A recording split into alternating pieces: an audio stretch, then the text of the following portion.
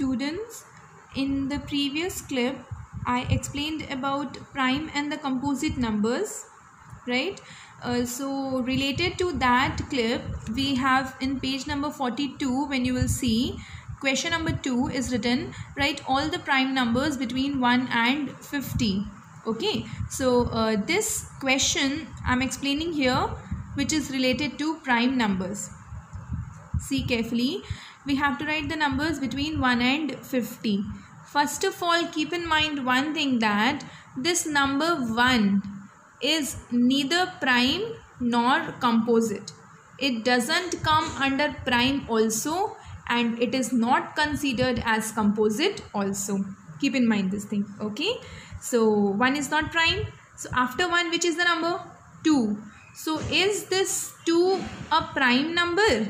So as we know that prime numbers are divided only by its own table now so 2 is not coming in any other table other than 1 so 2 will be considered as the prime number. Are you getting my point? Then what about 3 is also divisible only in table of 1 and by its own table. So 3 also will be the prime number.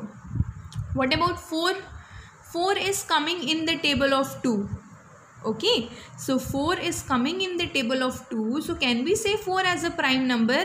We cannot say 4 as a prime number. Why? Because it is coming in other table also. It is divided with other table also. After 4 we have 5 so is 5 coming in any other table? Is 5 divisible by 4 7 9 or 10 it is not divisible only by itself and 1 so 5 also will be the prime number.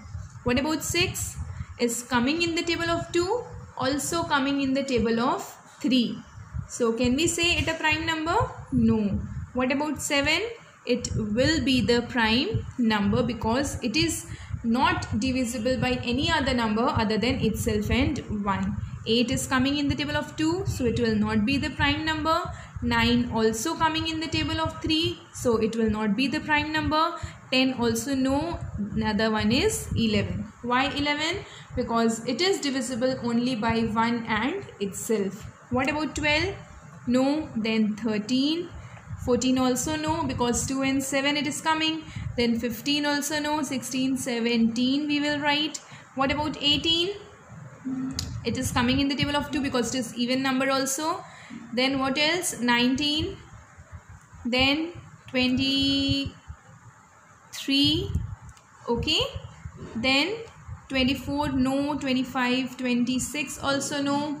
What about 27 it is coming in 3 and 9 28 also no. Then 29 why am i writing all these number? You are getting now because they don't come in any other table other than itself and 1 then 31 okay?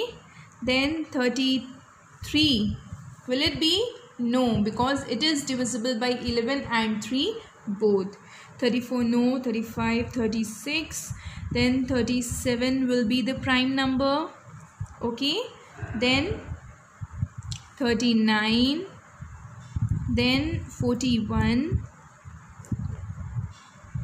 39 will not be the prime number. I'll just cut it because it will be divisible by 3 okay?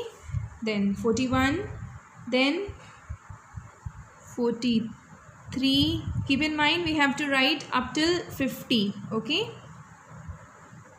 45 also no 46 then 47 no 48 also no 49 also no so all these number that is 2, 3, 5, 7, 11, 13, 17, 19, 23, 29, 37, 1, 42 and 40, 41 and 43.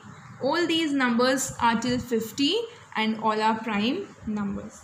Is it clear? This is your question number 2 which is given in page number 42.